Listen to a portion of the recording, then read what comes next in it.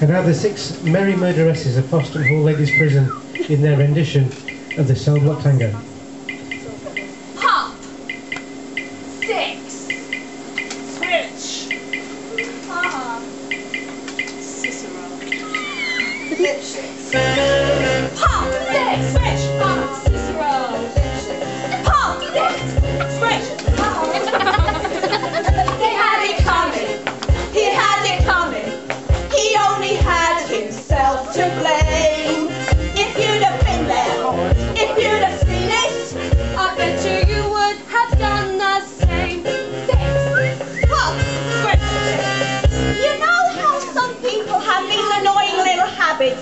You down?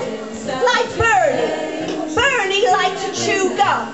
No, not chew. Pop. So one day I came home from work and there's Bernie laying on the couch chewing. No, not chewing. Popping. So I said to Bernie, I said, you pop that gum one more time. And he did. So I took the shotgun off the wall and I fired two warning shots into his head.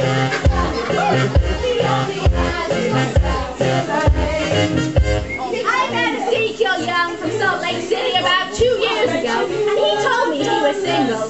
We hit it off right away, so we started living together. He'd go out to work, he'd come home, I'd fix him a drink, we'd have dinner, and then I found out. Single, he told me, single my ass. Not only was he married, oh no, you know. So that night when he came home, I fixed his drink as usual.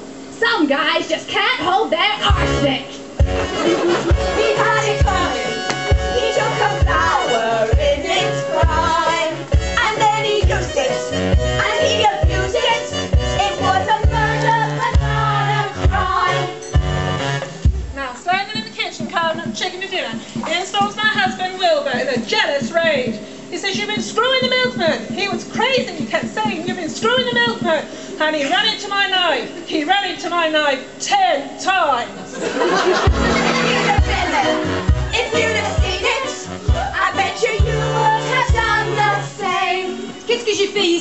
On a dit que ma langue était les bras plaqués mon mari au sol et moi je lui ai coupé la tête. Mais ce n'est pas vrai, je suis innocente. Je ne sais pas pourquoi un ça m'a dit que je l'ai fait. J'ai essayé d'expliquer et n'ont pas compris. Yeah. Not guilty.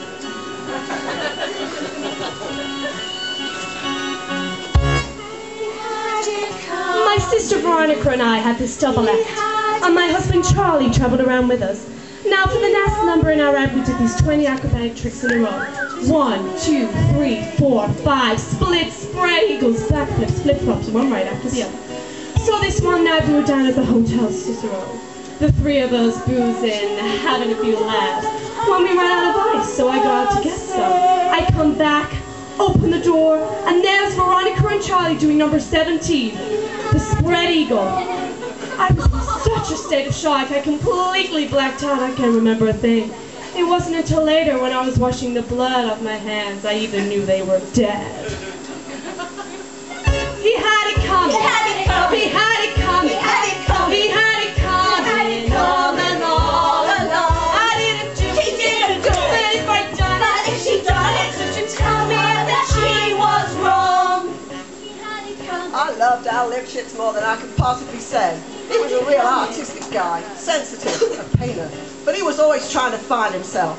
And every night he'd go out looking for himself. And on the way he found Ruth, Gladys, Rosemary and Irving. I guess you could say we broke up because of artistic differences. He saw himself alive and I saw him dead.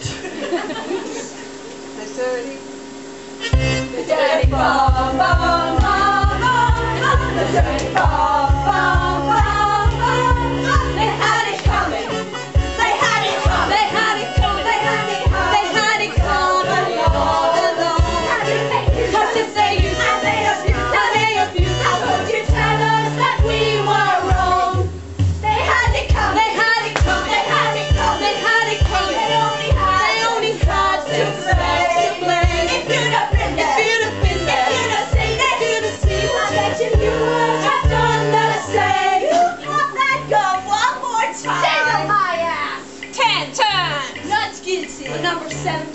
Dixie, the number 17. Artistic differences.